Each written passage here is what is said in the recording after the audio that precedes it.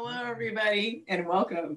My name is Michelle Branch, and I'm the board president of San Francisco Camera Work. I hope that you're all doing really well today. And if you've been rushing around, I hope that you're able to take a deep breath and be here with us in community. So I'm so glad that you're here. Thank you. Thank you for joining us. You are joining tonight for what will be an amazing and literally illuminating conversation, which is an artist conversation between Mikael Owunna and Jonathan Calm. Today is special because we have just formally announced the addition of four new board members to San Francisco Camera Work, all with a deep and abiding commitment to the arts and photography in particular. So those members are photographer Jean Dominique, who to be fair actually joined us a few months ago, but we had not yet made a formal announcement, uh, Mark Murrmann, photo editor of Mother Jones, Susan Malone, partner at the Hood and Strong accounting firm, and last but not least, Professor Jonathan Calm of Stanford University. So love to make that announcement that Jonathan has joined our board. So we're really thrilled. Um, we're happy with all of our new board members and really excited for what they're able to contribute. Um, and you'll be able to look at our website if you'd like to learn more about our new board members. So tonight is the first conversation, and I hope it will be the first of many that Jonathan will lead for San Francisco Camera Work. Um, and again, we're really thrilled. So tonight, Jonathan's going to be in conversation with artist Mikael Owunna. Welcome, Mikael. We are in the we are in the middle of February, uh, which is Black History Month, and in many ways tonight, both artists will discuss photography through a lens of Black history, which is also American history, and we are all a part of it. Before we begin the program, I'd like to start with our land acknowledgement and then to formally introduce the artists. So I want us to acknowledge the original inhabitants of this land on which many of us call our home. In what is now called San Francisco, we are located on the stolen land of the Ramaytush Ohlone peoples to whom we owe a collective debt. We have all directly benefited from being settlers on this land, and I personally am grateful. We would be really happy if you who are out there would let us know where you're joining us from, its present name, and also the name of the people who first lived there and may continue to live there. Planning tonight's program with Mikael and Jonathan was a real treat, and soon you guys will understand why. I'd like to tell you more about the artist tonight. So first, Mikael Owunna. Mikael identifies as a queer, Nigerian, Swedish, American multimedia artist and engineer based in Pittsburgh, Pennsylvania, exploring the intersections of visual media with engineering, optics, Blackness, and African cosmologies, his work seeks to elucidate an emancipatory vision of possibility that pushes African people beyond all boundaries, restrictions, and frontiers. Owunna's work has been exhibited across Asia, Europe, and North America, and has been collected by institutions such as the Museum of Fine Arts Houston, the Equal Justice Initiative, Duke University, and National Taiwan Museum. His work has also been featured in media ranging from the New York Times to CNN, NPR, Vice, and The Guardian. He has lectured at venues that include Harvard Law School, World Press Photo in the Netherlands, the Tate Modern in the United Kingdom, and TEDx. Owunna's first published monograph called Limitless Africans was released in 2019 by FotoEvidence and was awarded as, in, the book was awarded as a finalist for the FotoEvidence Book Award with World Press Photo. Just recently, also, Mikael was added to the Silver List, which is, he was one of 47 artists recognized in the inaugural Silver List compiled by uh, Silver Eye Photography. And this list um, of awardees, um, they were acknowledged based on the suggestions of over 125 nonprofit photography curators, scholars, publishers, and critics. So congratulations to Mikael. This is actually news that's hot off the presses. So thank you for being here. Um, and I have to say that before that, we got to know Mikael and I got a chance to get to know him a little bit more personally through our 2020 benefit auction, See How Beautiful I Am. So I know many of you have seen his work and he's gonna show some of that tonight. I want you to know that the image that he presented uh, for us and to all of us in the auction was the most viewed work, the number one viewed work of all the works in the auction, attracting tremendous attention. Um, so thank you, Mikael, for being here. I know people are excited to hear from you and I've been waiting for a long time to, to really hear you talk. And now Professor Jonathan Calm. Jonathan Calm is a visual artist in the media of photography and video, represented by Rena Bransten Gallery in San Francisco. And he's also assistant professor at Stanford University, where he chairs the photography department. His earlier work has focused on the relationship between technologies of representation and urban architecture, and the powerful role of images in the way architectural constructs shape the lives of individuals and communities.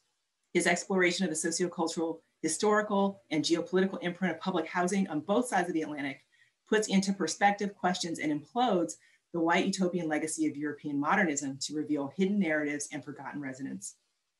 More recently, Calm has pointed his critical eye toward American car culture, exposing how the mythical promise of a boundless journey across the land masks a more sinister reality of African American automobility.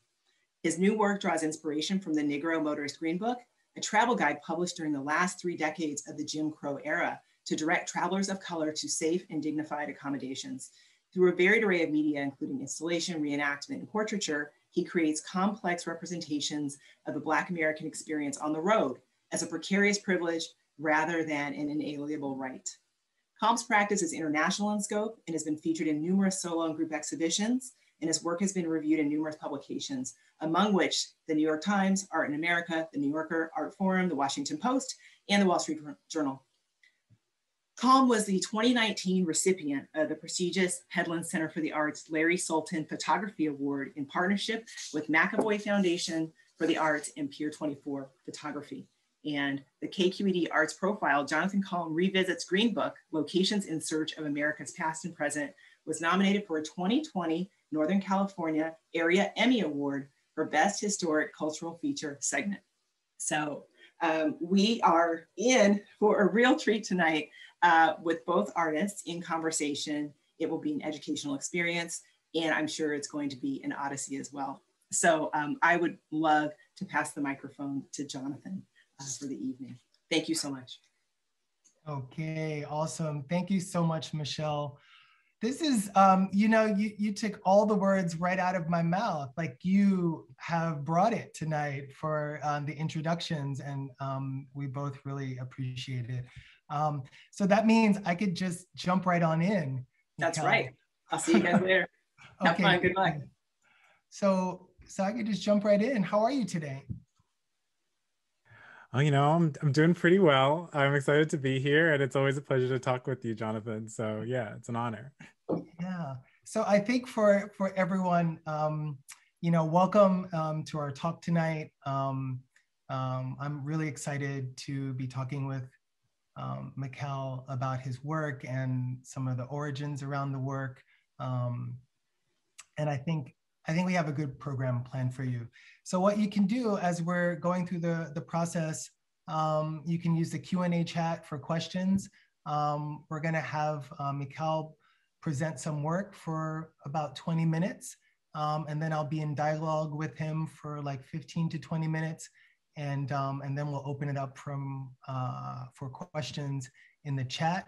Um, but of course, we'll be monitoring the chat. And if there's some good stuff in there, please, um, we will bring it forward.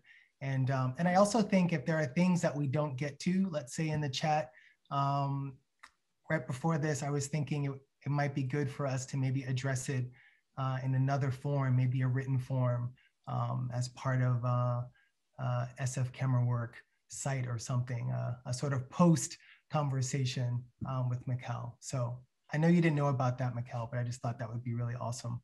Um, so um, first and foremost, you are in, I have a couple questions before you start. You are in um, Pittsburgh, right? Yep, Pittsburgh, Pennsylvania. Mm -hmm. Yeah. Can you tell us a little bit about what is life like? What is art life like um, in in Pittsburgh? And, and more specifically, this has been an unusual year for everybody, um, especially for Black image makers, right? Like it's been tough for everyone. And, um, and I just like you to have a moment, if you would like, to, to speak about that. Like, how's this year been for, for you, for production?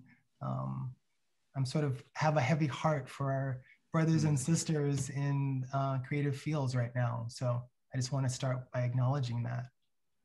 Yeah.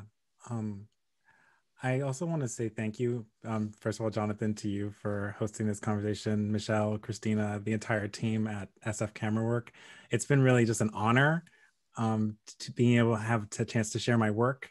And I think one of the things in terms of, you know, we're talking about what is it, what has the past year meant for a lot of creatives, particularly Black creatives, you know, being in Pittsburgh, I think it's been it's been really devastating. I think the arts have been just devastated across the board. And I mean, I think one of the pieces is that, you know, us sitting here, we do have like a, a big position of privilege. You know, a lot of the young artists who are just starting, or people who are not even young, but they're just getting started with their careers. Exhibitions are closed, you know, a lot of opportunities have been closed down.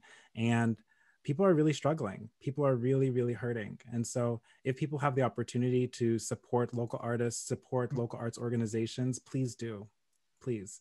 Because I think this is going to be another really hard year for the arts. And so, everybody needs their everybody needs your support. And um, so I think in terms of me, in terms of being in Pittsburgh, so I actually was born in Pittsburgh. I grew up in Pittsburgh. My family's Nigerian and Swedish, but I was born in Pittsburgh. I went back to Nigeria, and then I came back to Pittsburgh when I was three. And I was gone for many years and then I moved back to Pittsburgh four years ago. And I think it was, I think one of the things with COVID has been that it's forced me to stay in Pittsburgh, um, to actually establish a sense of roots and reconnect with home. I think that's one thing that was really missing for many years was that sense of groundedness and that sense of place. Um, so I've had an opportunity to really find home again for the first time in many years. And Pittsburgh's become that for me. And I think that's one of the nice, one of the oddly positive benefits of being forced to stay in a place for so long. Um, Pittsburgh also does have a lot of grant support for art, arts and artists, which has been really helpful. And I think it helps a lot of artists in the area here. Yeah, wonderful. Thank you. We've had some wonderful conversations about um, what's been happening in Pittsburgh, and I'm, I'm actually inspired um, with the institutions and also um, the support. Um, but thank you for um, directing us to you know younger artists. We are sitting here um, safe and sound and talking about our passion, which is photography and art, and uh, and I don't want to take that for granted, right? So so with that, um, let's dive right in uh, to your work, your presentation. Awesome. awesome. So one of the reasons I'm excited but also a little nervous to be talking to everybody today is that I'm actually I'm also going to be sharing I, mean, I think many people have seen the images but not only am I going to share the images but I am also going to share the specific African West African myths that are associated with each image. And so there's a mythological and cosmological language that's encoded into the each of my photographs for the Infinite Essence series. So I'm going to be sharing for the first time this research with you all. Um, so very, very excited to do so. So I'm going to screen share and um, we'll, we'll jump right in.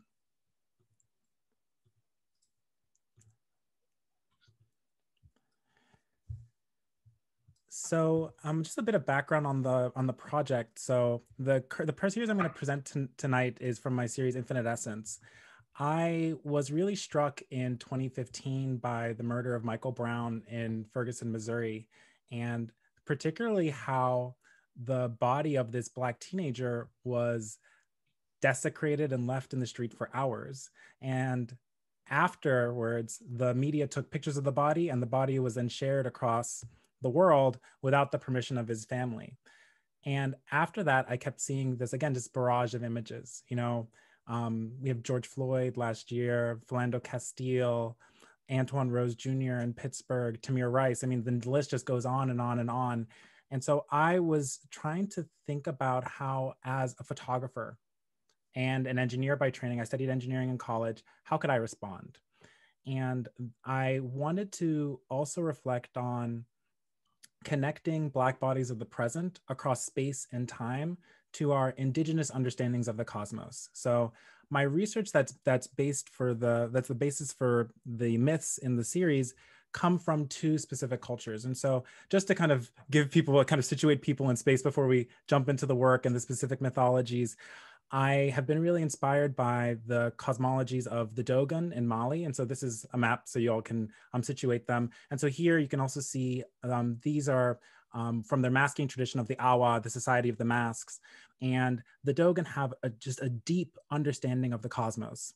And so I wanted to I connect my research to the Dogon and then also to the Igbo in Nigeria. And so I am Nigerian and my ethnic group is Igbo. So I've also been really inspired by our mythological systems there. And so with the work, I, in terms of the methodology, we'll get more into some more details later down the line, but what I do is I begin by actually hand painting all of my models' bodies with fluorescent paints. So these are actually all done pre prior to actually taking the picture. These are all done on um, with the models ahead of time. And I then, using my engineering background, I built my own flash that only transmits ultraviolet light. And so in total darkness, I click down on the shutter and the model's bodies illuminate for a fraction of a second with these patterns of the cosmos. So this is an effect known as ultraviolet induced fluorescence. And we'll see a bit more of that about that um, in a moment. And each of these images are also connected to these specific mythologies. Um, again, bringing us from this space of thinking about the Black body as a site of state violence to these transcendent ethereal vessels and cosmic vessels of eternal life that connect to our understandings of Blackness from our African traditions. And so the title of this piece, and so each of the pieces I'm going to share um, the title and then the, the, the caption. Um, so sharing the actual mythologies. And so the title of this piece is Amma's Womb. And in Dogon cosmology, Amma is the primordial creator god who is this um, multi-gender, polyvalent, black figure. You know, everything in blackness is the source of eternal life. And the universe emerges from um, Amma's womb inside of Amma's womb, there are these prefigured signs which encode all of the potentiality of the universe. And so blackness is this space from which the entire universe emerges, all life emerges. And this is located in Amma's womb. These are include stellar bodies, they include the human fetus, and in the utter blackness of Amma's infinite womb, all beings await their gestation and form so yeah, each of these images are connected to these specific mythologies. So giving you all a bit of background on how I've been thinking about um, each of these images and the context for them. So the title of this piece is Lebe and his articulations. And so this one's also connected to a specific Dogon myth of the creation of the universe. And so again, this is Black History Month, so I'm excited to also be sharing these mythological stories so we can understand historically speaking, how have African peoples Im- envisioned the emergence of life and in the emergence of the universe? And so, the story of Lebe. Lebe was a descendant of the eighth ancestor of humanity in the Dogon system. He was the oldest man at the time, and he was the first to die and be buried. Upon his internment at the strike of the smith's anvil, a serpent god descended into his tomb and swallowed his body whole. The god then expelled a massive torrent of water, which regurgitated Lebe's body into colorful stones that formed the outline of his body. The joints were the focal point of Lebe's body, and for the Dogon, represent the most important parts of a human being. And there's a sacred number associated with each one. So this is Lebe and his articulations. The title of this piece is Nomo Die and Nomo Titeyan, again connected to specific Dogon myths from, um, from Mali, in Dogon country, modern day Mali. So within a lot of African systems too, there's this motif, recurring motif of divine twins. So you'll see this in the image too. So the divine Nomo twins in Dogon cosmology represent both the first ancestors and gods from which all people descend. So humanity, we descend from the gods within African systems. Nomo Die was the great Nomo and is the first and remains in heaven as the agent of the creator god Amma. His twin, Nomo Titeyan, is the messenger of the Nomo. He guards and protects his spiritual principles, and together they play a central role in the cosmic structure and unfolding of the universe.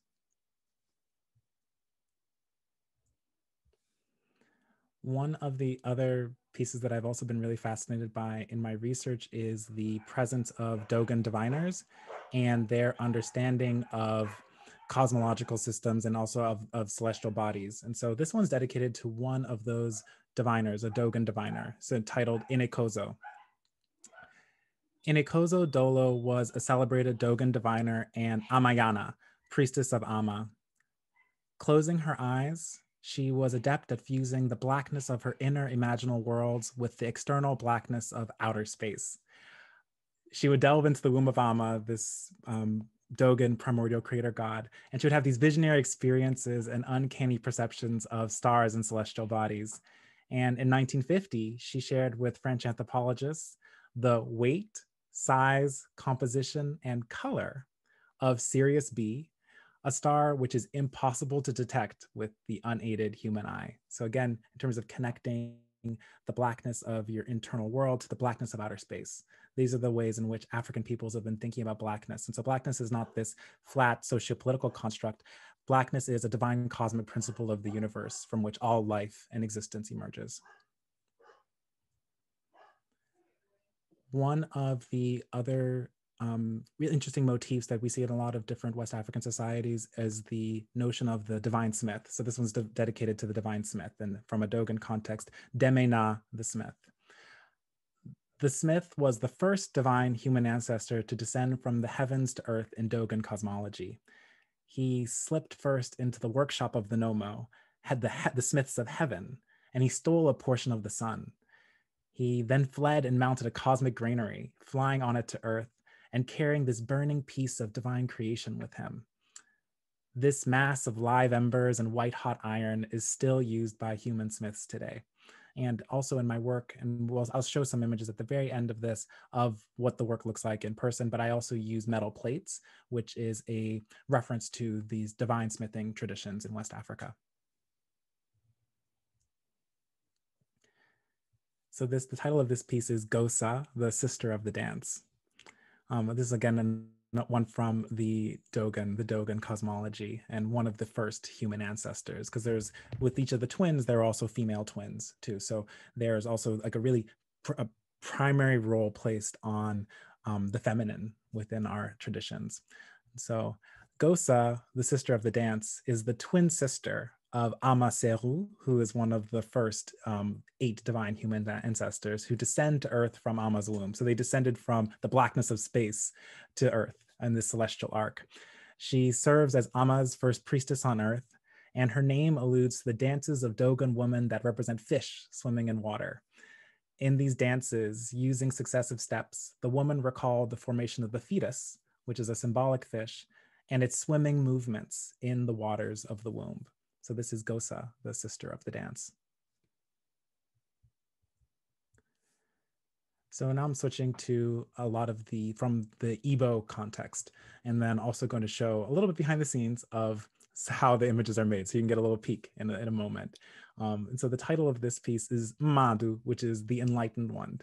And in Igbo, the word Madu means human being, but it's a contraction of the words Ma which means beautiful, and ndu, which means life. And that together they mean the beauty of life. So you can think of this word that means human being also representing the beauty of life.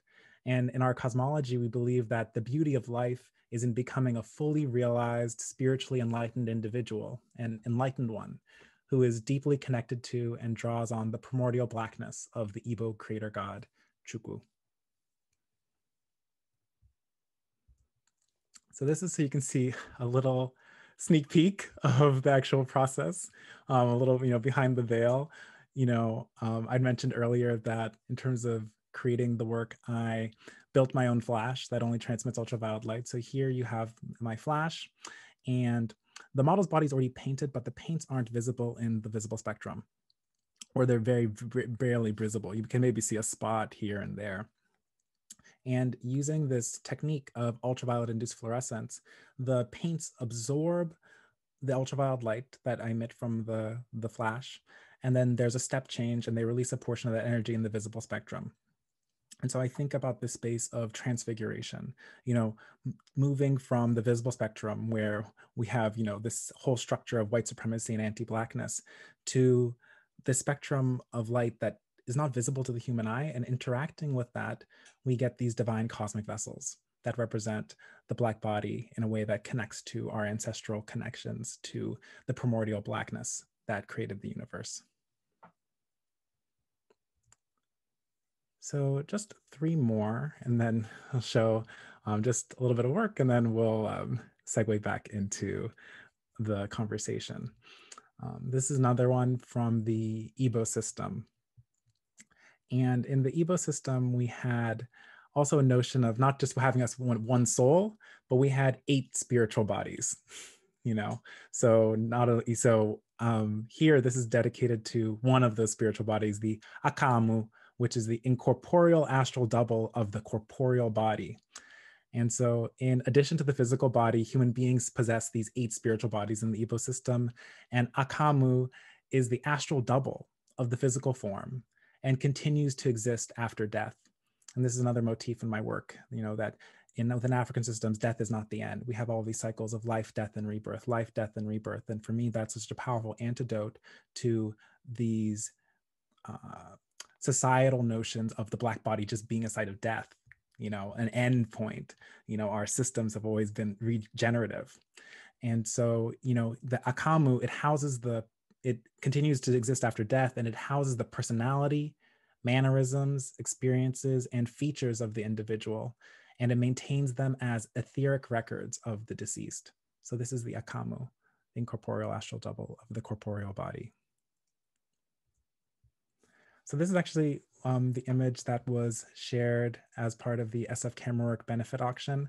Again, thank you to everybody who supported SF Camera Work. It was just an amazing auction, which I think also really, um, really centered the presence of particularly Black photographers, which is just really amazing to see and also allowing us to think beyond maybe just traditional understandings of photographic medium, um, the photographic medium. And so this is the image that was featured there, and it was such a pleasure to share it. And so here, so uh, on the on the uh, when we did the auction, I didn't share the actual mythological context behind the work. So here's a, a peek at actually the meaning of the piece that was in the auction. So the title of the piece is Oku na Mmiri, which is fire and water in Igbo.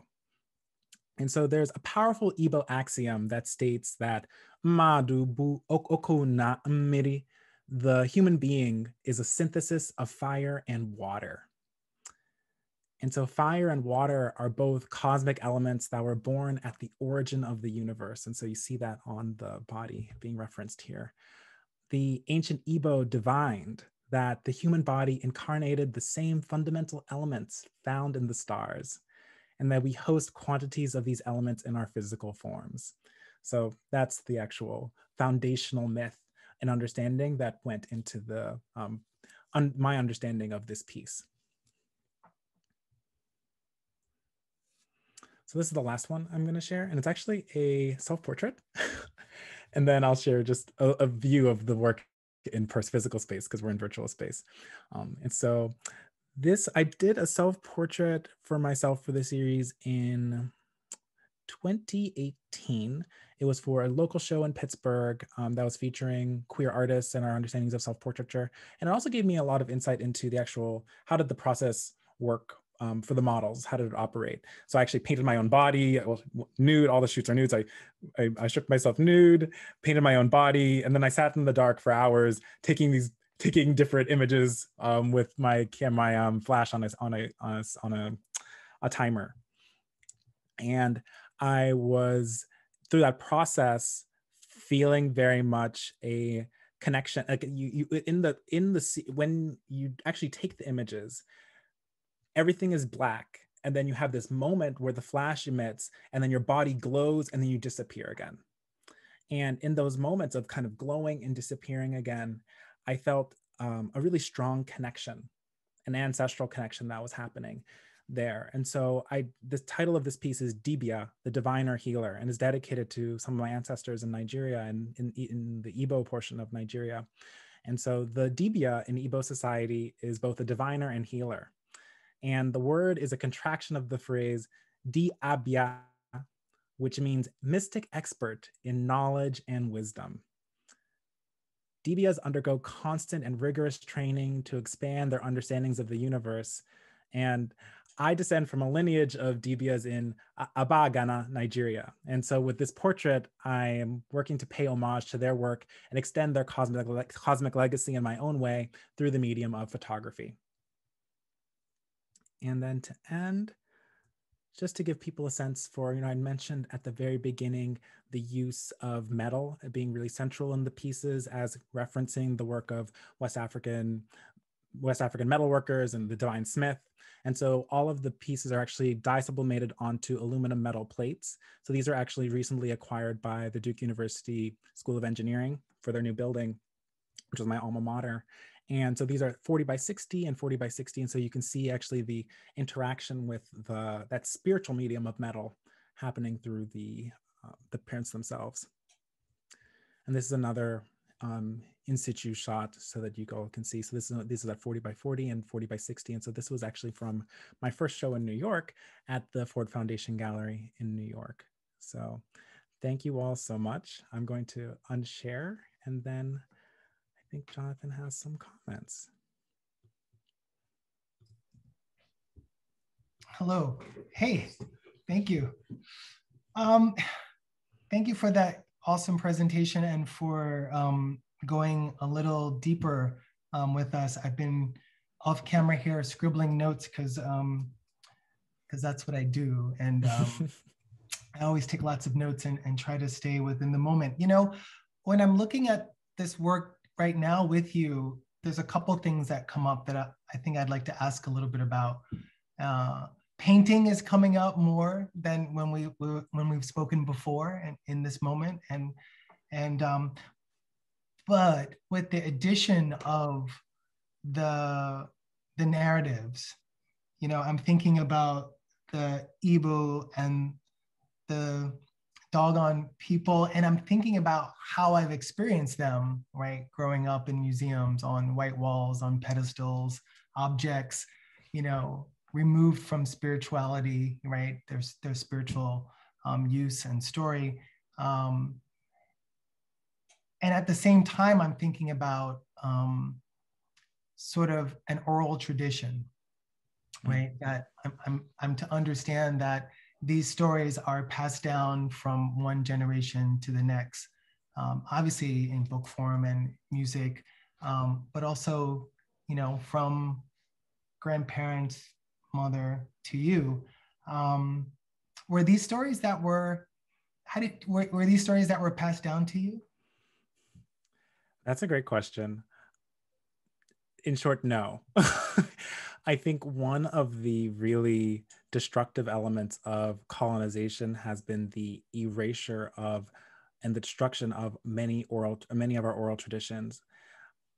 Even when I share a lot of these stories, particularly the Igbo stories, with Igbo family members, many many of them have no idea. And so I actually had to do a lot of research to uncover my own culture's understandings of the origins of the universe. I've had to dig for years. And so I think that's one of the pieces that I think is really important about sharing the mythologies so that we can place ourselves in the context of the universe and also this our divine cosmic ancestors understanding of the cosmos so that's why the mytholo- interaction of mythologies is super central for me, but I had to be something that I had to uncover.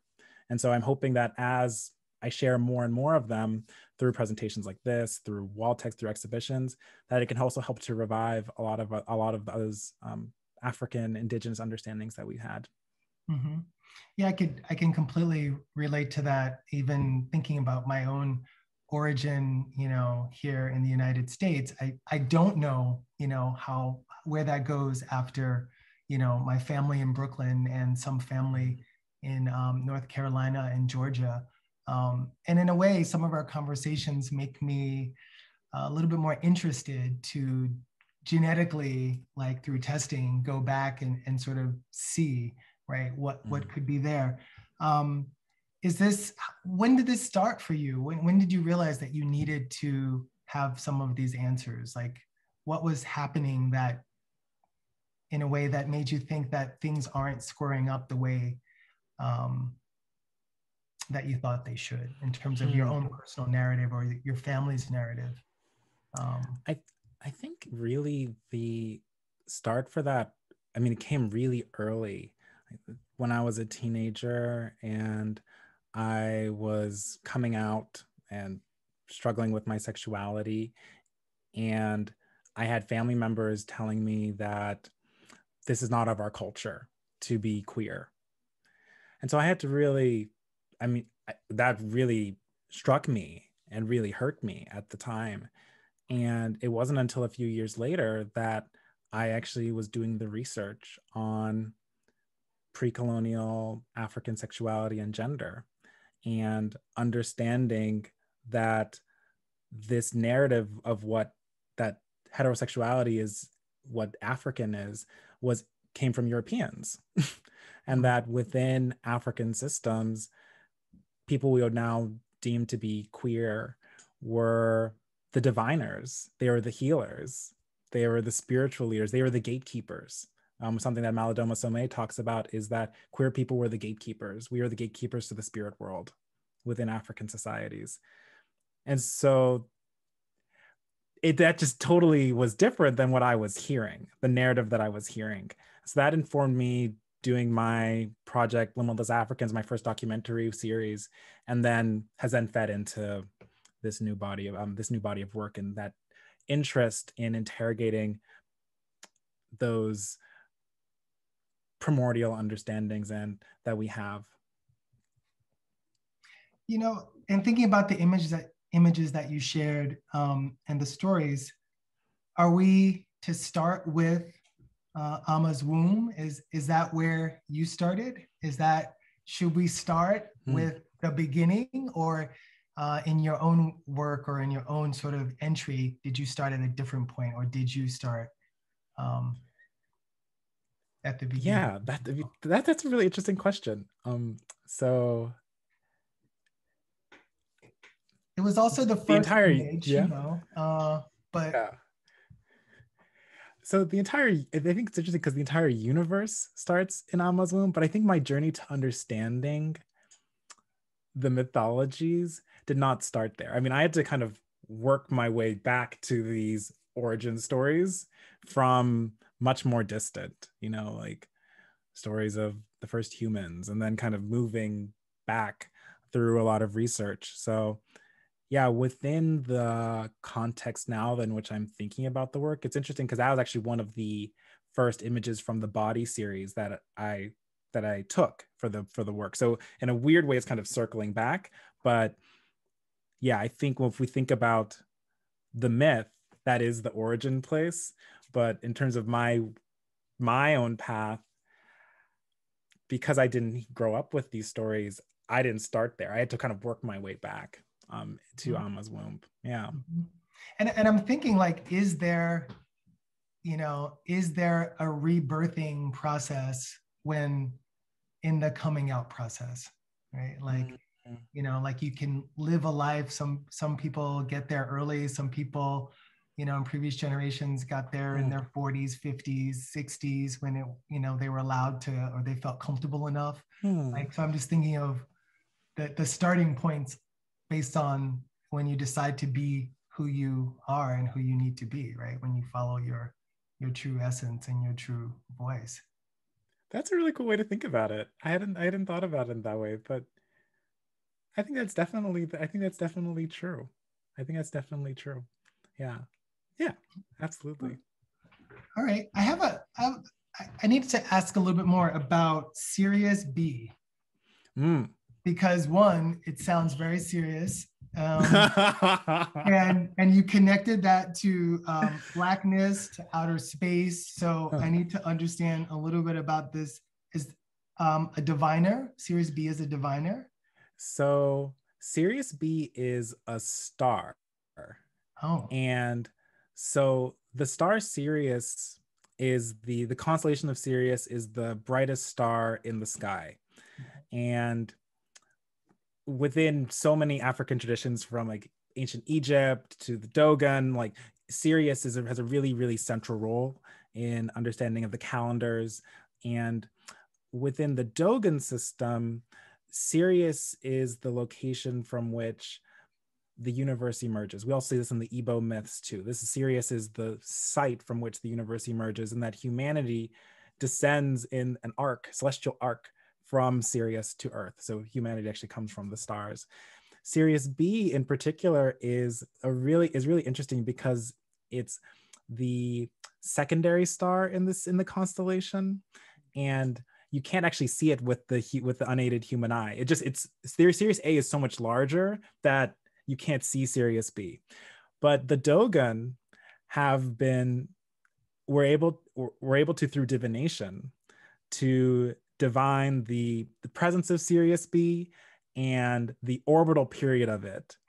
And they have a festival called the, the, the called the Sigui Festival that happens every 60 years or so. That's timed around the or, orbit of this star that you can't actually see with the human eye. And so I was really just struck by the fact that you know these people who you know people uh, deemed to be you know like oh they don't have any technology or anything detected Sirius B a thousand years before Europeans. right. So yeah, so Sirius B is a is a is a star, um, and for it figures in a really prominent role within these um the, the particularly in the Dogon society. Yeah, this is fun. This is fantastic. Um, you are you are taking me back um, to some of my relatives and back in Brooklyn, um, where we had some some books and some posters of of Africa, of ancient Egypt um, on the walls. And I feel like we didn't really understand, right, what mm. all of that, um, all of those symbols, all of those archi- all of that beautiful architecture, like what it meant. I hadn't studied, um, you know, history at that point um, in any shape, or form. But I knew that it was a place where there was Black excellence, is what mm. I'm going to call it using today's terms, right? And what we know that, well, in the United States, that when there is Black excellence, there is um, the other side of that is a sort of Black death and Black mm. torture um, um, within the United States. Mm. Um, is there a similar opposite um, in the Dogon and or Igbo culture where there is this, this divineness, this excellence? Um, I think maybe you touched on that a little bit, mm. but um, is there an opposite force to the awesomeness um, of those lands and cultures? Yeah.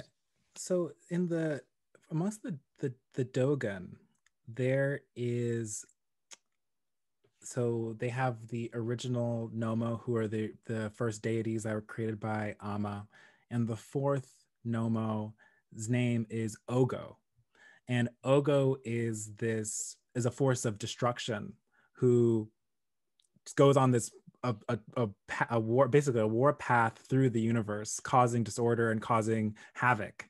And in order to mitigate that Amma has to sacrifice Ogo's twin, and then Ogo's twin, Ogo, the blood of Ogo's twin forms the planets and the stars and the universe, and then Ogo's twin is brought back to Earth, is brought back to life, and that's a regenerative act that then purifies the universe. Ogo's twin then descends to Earth in this celestial arc, and enters into the first pond on Earth, and so actually humanity is descended from this regenerated purifying force. And so we're all we're all descendants of these these gods these these immortals. But yet there was there is the presence of ogo who becomes the embodied by the, the embodiment of the pale fox. And so that's one that's this force of destruction that in disorder that figures into the dogon cosmos all right I hope you all are following me out there. Are you there?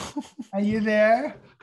Um, all right, all right. This is good. This is good. Let's talk about let's talk about the process. Let's talk about the the images. I see there's a, there's a question in in the chat um, um, concerning process.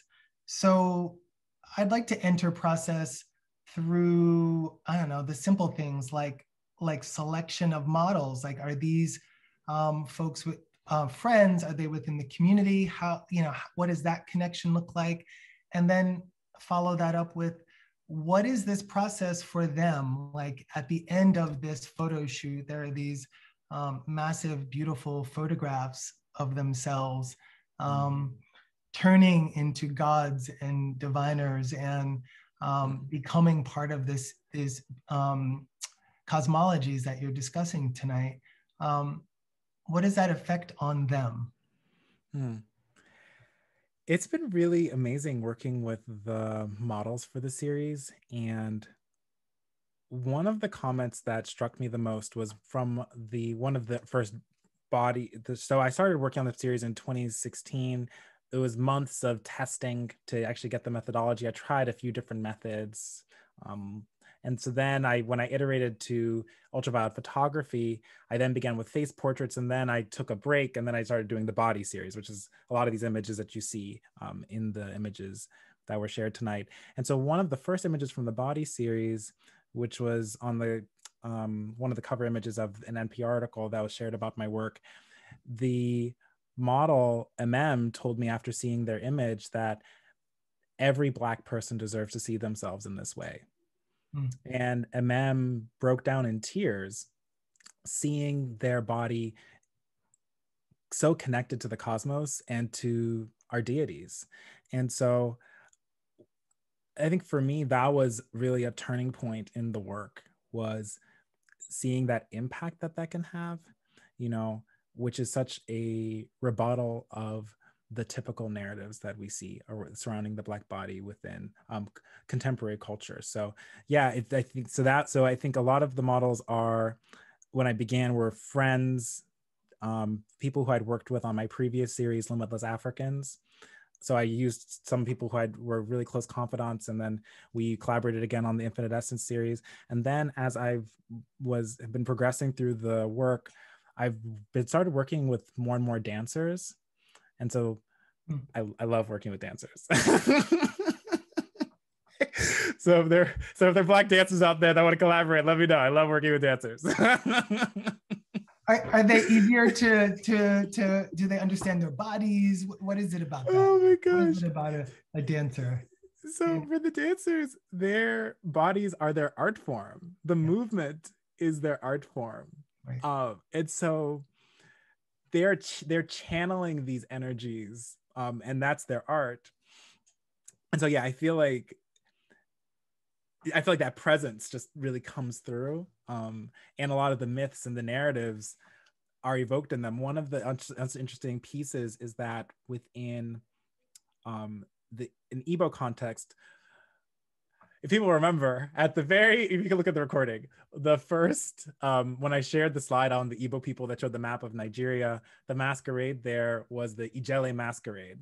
And there's west african masquerades are really interesting but in the book i was reading about igbo cosmology there's this idea that the entire universe is dancing and that the vibration of dance represents the dancing of the universe. So all even the vibration of the atoms within our bodies, that's a dance. And mm-hmm. so you can also see that connects to string theory and these other um, concepts. But yet dance has this really powerful way of connecting us to the origins of the universe. And so I think that's also what comes through in the collaborations with the dancers. Love them. and and and how do they there's a, a few questions in the chat um, about the actual painting of mm-hmm. of the models of the dancers um, or just the models um, in terms of are you how i don't know i don't know if we need to know like the application but like yeah but you're doing it like and you can't see it do you have like mm. some uv lights on um, i'd love that um, you're an engineer and you're in the, the long line of, of photographers and engineers and photographers and scientists, right, who take the available uh, equipment or create new equipment so that mm-hmm. you, you can take the photograph that you need.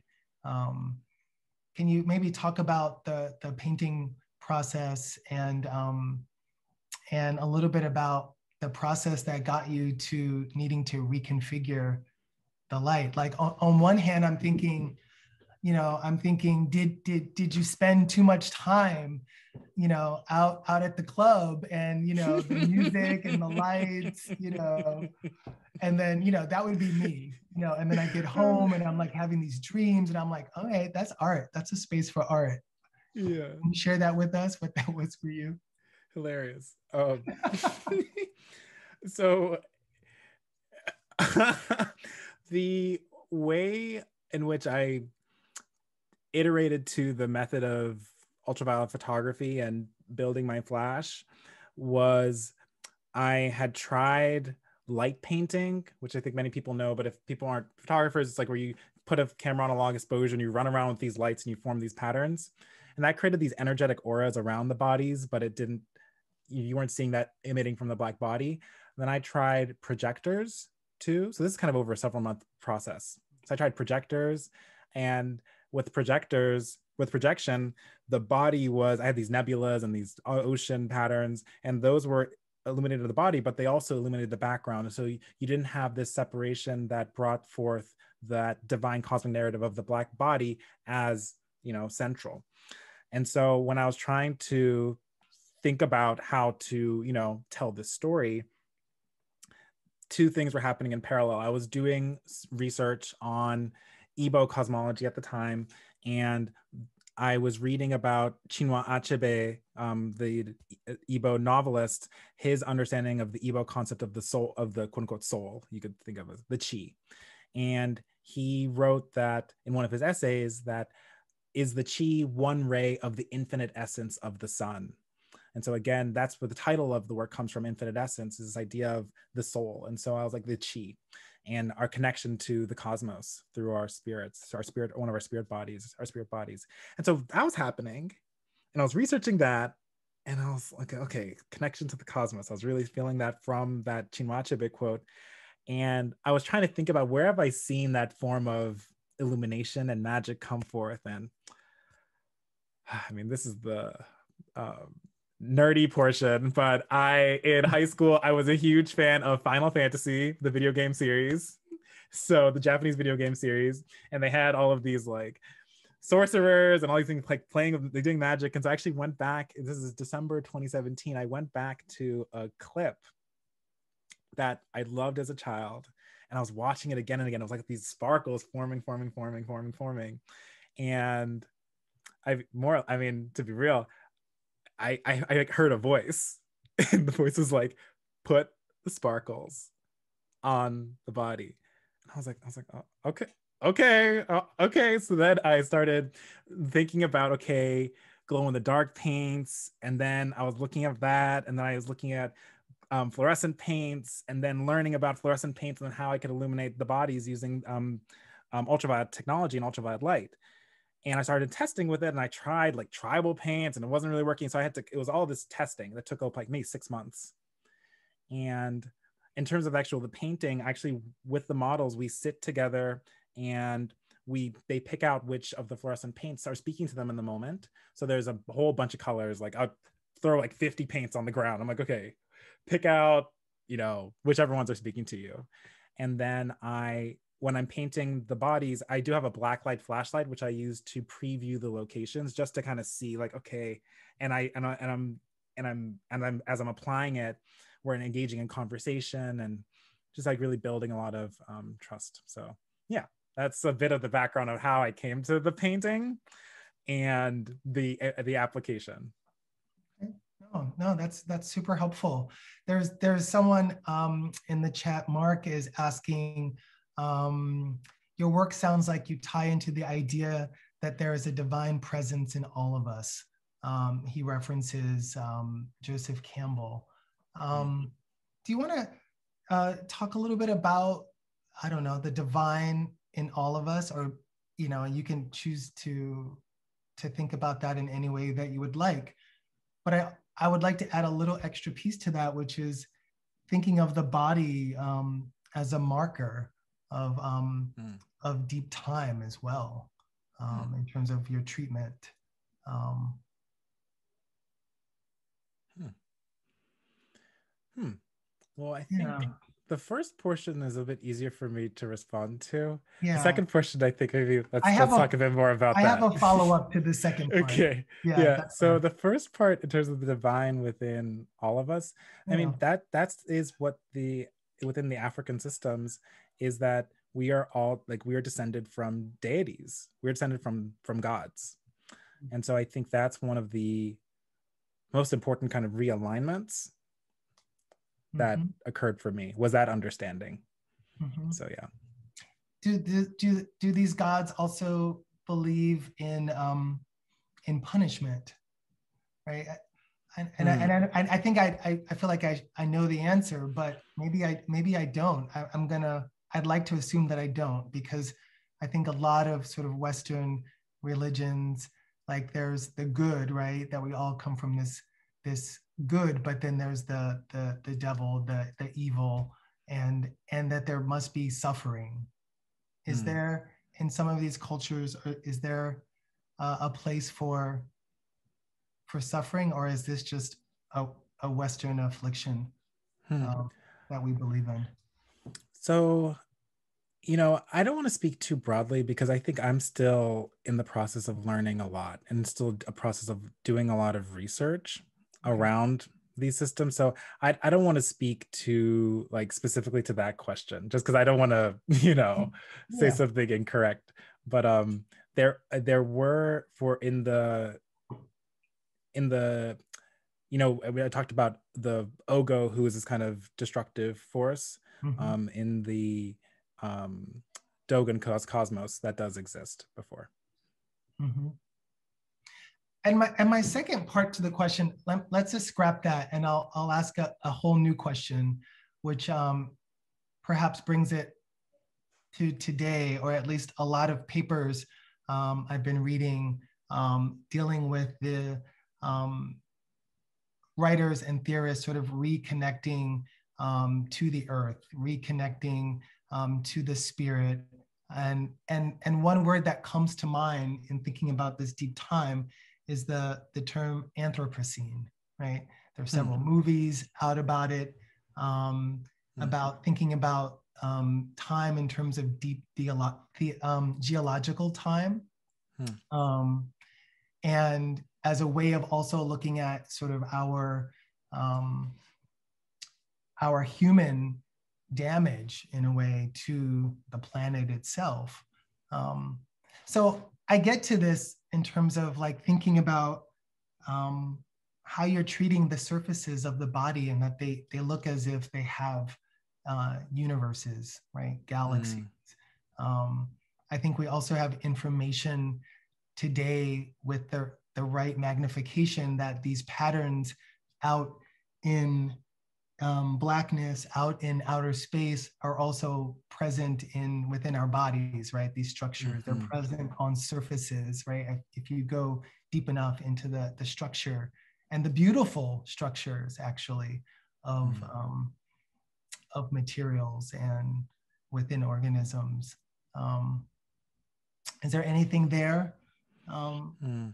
for you so one of the interesting conversations I actually had a few years ago was when um, uh, a friend from college was looking at the work and he was com- he commented he's like he's like oh um the fractal patterns. And i was like and for a time i didn't really understand what he meant. I was like oh, what do you mean? And he was saying you know it's so interesting that the um patterns that you're painting with you know replicate the almost like the fractal patterns from which which the stars are spread across the sky.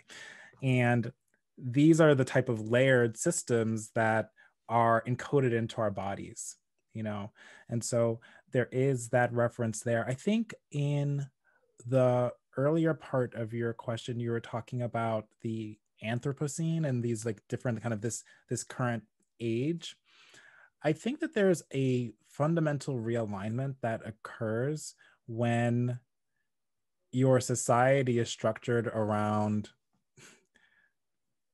these understandings of our indivisibility from the cosmos our indivisibility from the earth you know? And so i think one of the other pieces that's also really fascinating is that the uh, the first humans actually this is very different but the first humans um actually they, they, they didn't die. They actually just faded back into um, the cosmos and returned to the um, the creator into the blackness of space. And so i think even the understanding of kind of oh this is just this age of humanity right now i think that's again something that in terms of space and time that gets really challenged a lot in these systems. And so yeah that's just an aside. Mm-hmm. I, I, I enjoy our asides. I think um, I think they're important. I think I think it's okay to, I mean, I'm, I'm so thankful that you're allowing us to have a conversation about space that you're still exploring, right? I think mm-hmm. it's okay not to have every answer tightly buttoned, right? Um, there is play, there is space, there is growth, there is more research, right? Always yeah. Um, to be done. Mm-hmm. And that's a good thing, right? Um, I see that uh, Jody Mack, hello Jody, uh, says um, for the last comment, yes, I see these images as a sort of quote, body as encoded vessel, mm. era of the universe. Um, mm-hmm. That's very nice. Um, there's another question. Um, let's see, by Juran, who's, who asked the question, I don't know exactly ab- about what part, but he says today, um, I, I, can expand up, upon this. Today, what's your why? Has it changed from when you began? Hmm. So, I mean, that yeah. can go either way, right? Like, how, how would you like to hmm. approach that?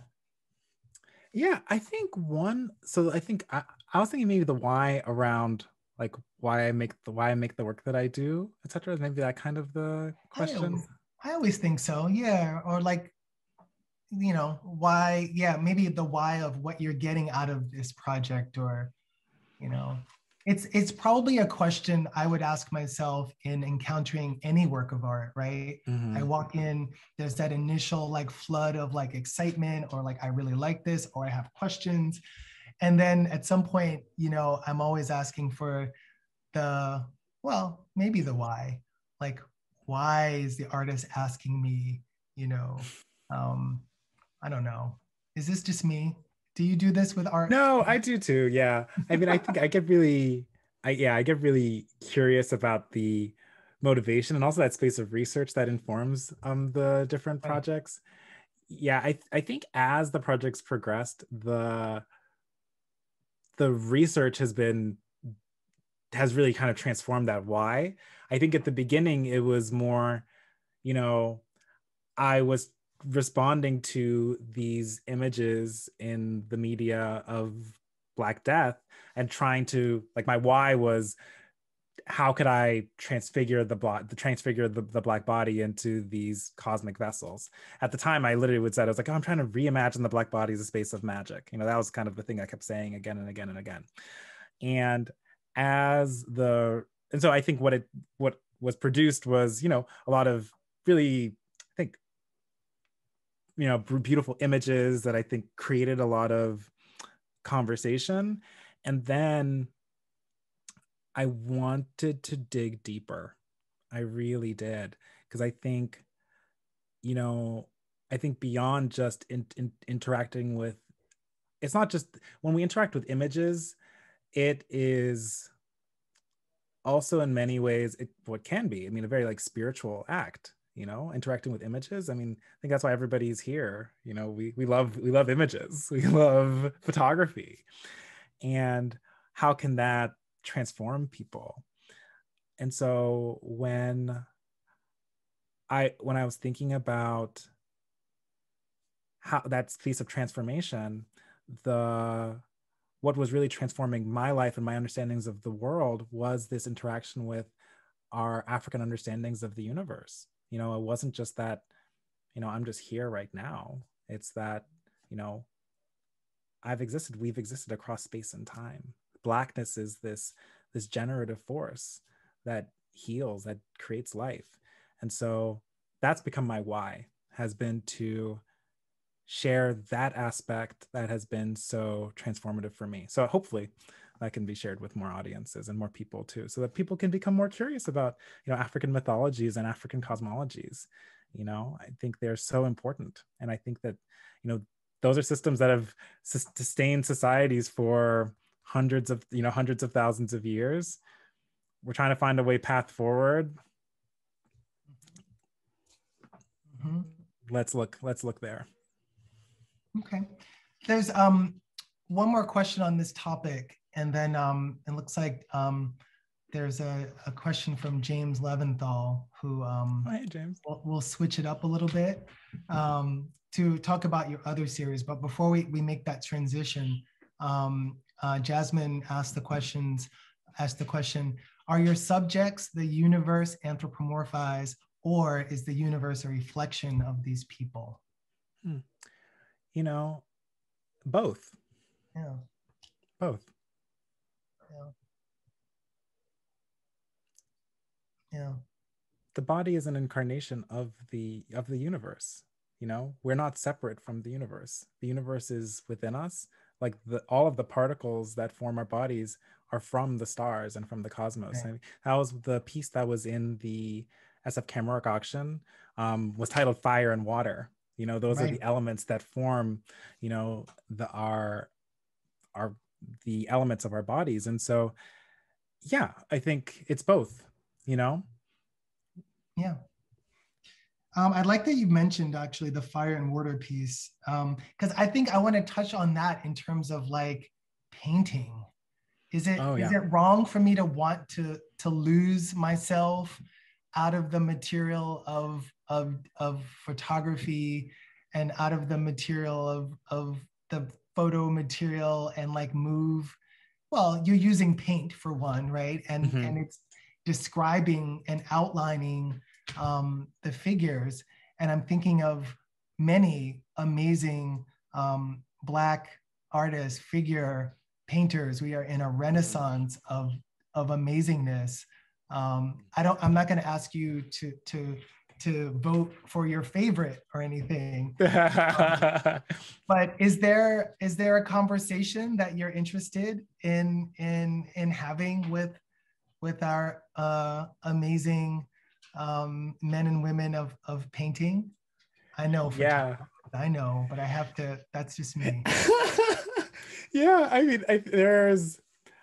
Oh my gosh, so many amazing painters. I mean, I think one of the I mean, I'm just such a fan that I'll just like say, I mean, Lina Iris Viktor, just an mm-hmm. incredible, um, incredible painter. And in her work, she also references Dogon symbology as well.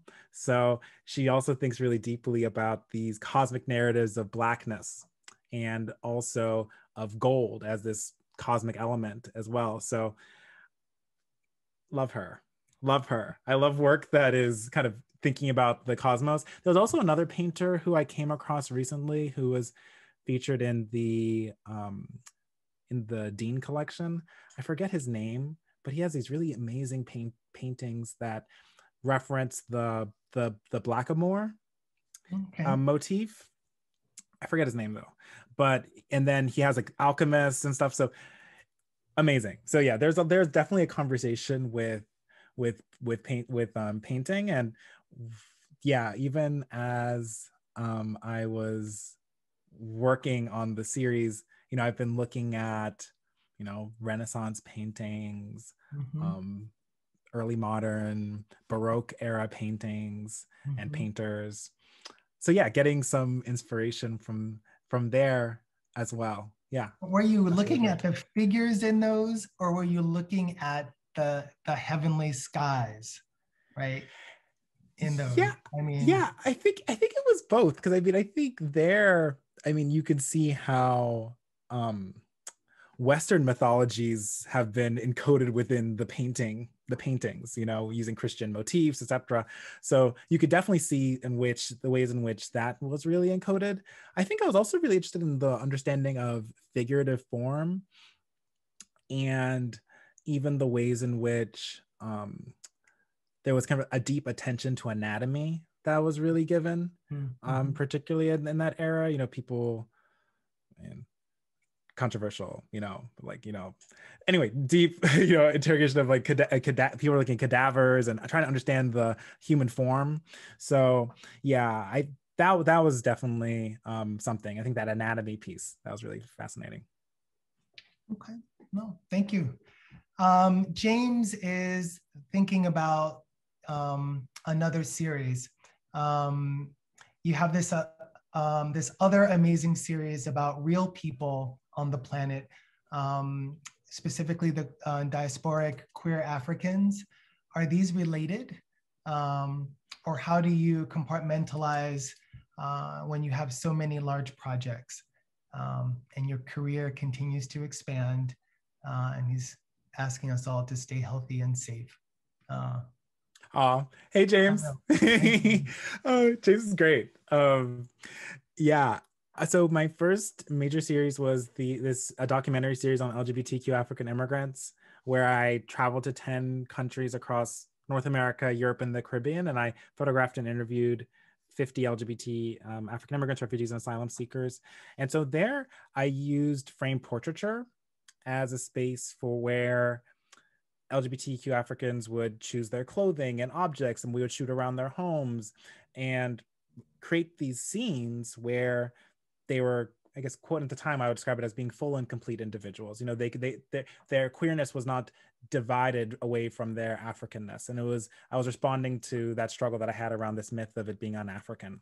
So that was actually where I learned about the art of frame portraiture as a space where we can imagine and create these new worlds and new realities. And so that's was kind of I think that's really the connective thread, that line of of frame portraiture one of the other pieces was definitely the working with so many queer Africans and that um, article I referenced earlier by Malidoma Somé, he was talking about that queer people would now describe as queer Africans were the diviners and the healers and the gatekeepers to the spirit world. So I think that is also a space that kind of opened up an area of exploration into mm-hmm. many of these more moving from the kind of the physical form to the spiritual was through that series. So I think that's one of the other connective points.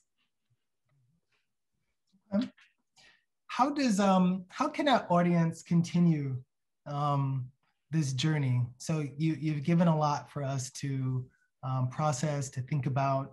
Um, I'm specifically liking the stories um, and thinking about um, how we can expand our libraries, how we can, you know, have stories for our children that are different. I mean, I feel like these, you know, could be fascinating as, as and maybe frightening for some children. But um, mm-hmm. how can we expand our libraries? Yeah. So where, where can we start? So I think for adults, there on the from for the Dogon, where I started my research, there's a book conversations with Ogotemmeli, which um, I felt was like a really great starting point with so conversations with Ogotemmeli. And if you just look up conversations with and you look up Dogon, O G O N, you can find it. And there, so that's kind of like a nice introductory text. And then when you want to go deeper, there's the the pale fox. Um, so the pale fox has um, a lot more information around um, Dogon religion and creation stories. On the Igbo side, there's a book, um, Leopards of the Magical Dawn, which is really, really great, which is by um, Nze um, Chukwukadibia Nwafo. Um, so that's a really good one. And then on the children's side, one book that I should just found recently that somebody sent to me, a friend, is there's a Yoruba mythology coloring book. Hmm. So I think that's one that for children, I think that's a really a good good good way to kind of hmm. learn about the the um so, like mm-hmm. the Yoruba system is very different. I haven't done much research there, but yeah, like that's another way that people can kind of engage. I think that's a really great one. Do they have to color within the lines? I think people can do whatever they want. I want them to not color within the lines. okay. So we're in our in our last 10 minutes. Um, and I have a couple of questions left. I think there's a little pause in the in the chat at the moment. And um, I want to think for a moment of you spoke at the beginning when we were talking about um, the COVID crisis and the pressures that that puts on artists, um, photographers here and um, and especially um, for us photographers of color what any suggestions any thoughts on like you know here you are you know at in with us at um, sf camerawork and we are really doing the work to be engaged with our community and expanding what that looks like. Um, we have um, folks that are really dedicated to us as an organization and and they they let us know right? They let us know what they what they would like to see. Um, they let us know what they need. Um, and we're looking right to expand what we do within the bay especially once you know we're able to to be together. Um, is there something that we should know about mm. um, the life of a young photographer like when you're starting out what that looks like hmm. like where maybe we can be more helpful. Um, you don't have to have an answer to it but you know being a new board member it's it's always a question that we're asking one another. And um, i really respect your your work and your research and and i know you have some thoughts. Yeah. Mm, that's a good question you know and I think it's a multifaceted question, but I think one of the so for example, in the fall, there was a really fantastic conversation um, with um, David Johnson and oh, yeah. Lewis oh, Watts and and and um, Gene, and it was an amazing conversation. I mean, I I think particularly as a black photographer, it was. I mean, it really brought me into the conversation. I mean, I was really excited about that conversation, and I mean, I'm not sure, but I'm not sure if that was David's first time ever presenting at SF Camerawork or if he's ever exhibited SF Camerawork. But I think those are some of the ways in which um, Black artists, even if they're in a local community, will not necessarily get seen by institutions and can fall through the cracks. Mm-hmm. And I think that's that there's a space of kind of, you know, intentionality around you know engaging with finding out who the local art who the the local photographers are who are doing really fascinating work and making sure to really kind of bring them into the conversation and bring them into like kind of these with um, with institutional resources exhibitions and so yeah i think that's one of the ways in which mm-hmm. you know institutions can really be really transformative for local artists mm-hmm. And I, I, see that was placed in the chat that conversation. So that's that's great. How about mentorship? What is can we talk about the value of mentorship um, mm. for for young photographers for young black photographers? Um, i mean i'm a i'm a teacher so i i see it up close and personal. Um, what does that mean? How how does that manifest for you? What does that mean for you yeah, I mean, we were talking about that just a few days ago. um, I would say, hmm, I would say, I would say it's real. I'll say, I'll say it's tough. You know, I think it's definitely really tough. I think, particularly for photographers who maybe who didn't go to, you know, art school, for example. Mm-hmm. You know, in art school, there's these institutions that kind of set up. You know, you can maybe meet photographers who can, you know, be mentors, etc. I think for black photographers, black photographers historically have had to figure out ways for ourselves. I mean, I think one of the really um, cardinal examples is of the Kamoinge workshop in New mm-hmm. York City in the in the um, in the 70s who this collective of black photographers who did photo crits you know and they were they were they were a support network but also i mean it wasn't just like oh we're just hanging out and partying they were making sure that everybody was pushing their craft forward you know? Mm-hmm. and so it was this network that was created and the Kamoinge workshop has a show up now at the um, at the whitney actually. And so i think we've had to kind of be more creative about finding mentors and finding those spaces of support. And so i think yeah i think it's something that i'm still coming from an engineering background, it wasn't like, oh, who are the photographers that I know? So it's definitely something that I I, I think a lot about. And um, as younger, as I engage with younger younger photographers, I mean, somebody told me the other day they're like they're like, oh, you're you're not so young anymore. I was like, oh gosh, okay, okay, got it. Graduated like ten years ago.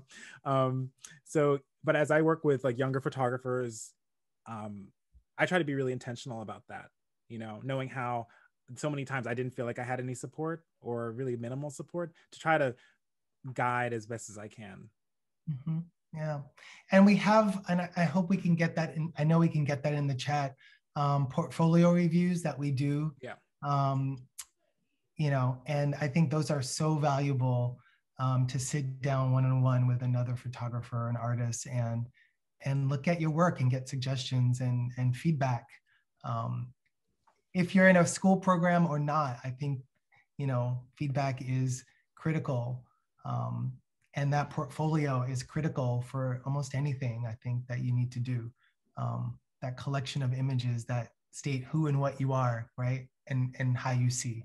Um, so thank you for, for allowing me to, to talk a bit about um, that program, but also about mentorship and, and what that meant um, for you. Um, I think this might be my final question. Um, yeah, I think this could be my final question. That went by really fast. And um, and I do want to ask, I think we have another little something we can do. I feel like we could do a little writing project for like a post post thinking about this talk and maybe expand some more um, through text versus a, a, live conversation, if you're willing. Um, okay. What's up for you next? What do you have? Um, what do you have in the archives? What do you have uh, exhibition wise, work wise? Um, if you'd like to give us a sneak preview about what's coming up. Mm, yeah, so I actually have um I shot my first film actually. Oh. And that we finished shooting in um, last month.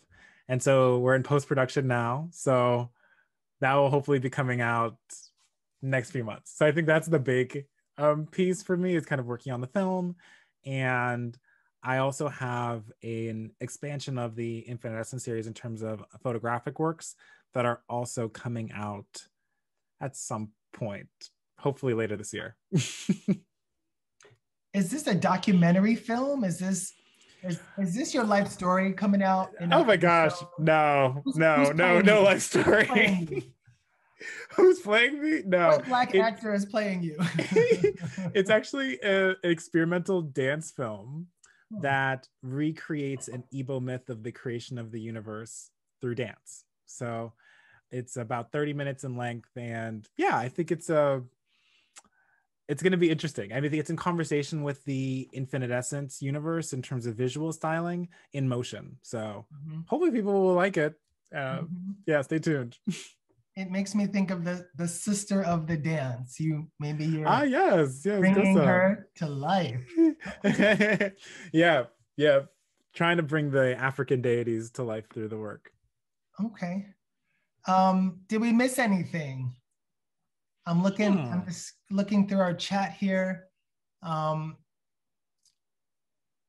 uh, thank you. Um, well, I just, I guess we can close like a couple minutes early. Um, I want to first thank um, everyone at home who, um, you know, walk the dog, is cooking the, the meals, are tutoring the children, are working from home on Zoom. Thank you for enduring that fatigue. It's real. Um, for those, you know, with the mocktails and the cocktails back on the East Coast, good night. Get a good night's sleep. Um, and tomorrow is Friday. Um, I want to thank um, SF Camerawork for um, bringing me in for um, this specific conversation. And I, I, do hope that we can have more and um, feature more amazing, talented artists, photographers um, here and, and everywhere. and I think the work that I do or that I'm starting with my colleagues, I'm really excited about. And, um, and I'm glad that we were able to start our conversation through this medium, Mikael. And, um, and I just thank you for um, giving us a deeper look into your practice. And, um, and I just want to celebrate you and thank you for um, being here and, and for donating um, to SF Camerawork. Um, in the auction, but also lending us your your your wisdom and your voice here tonight. Thank you. Oh, thank you, and thanks, and th- thanks, Jonathan. Thanks, everybody. Really appreciate you all um, staying here and spending time with us tonight. It really means the world. All right, everybody. Thank you so much for coming. Have a great night, and um, and we'll see you soon.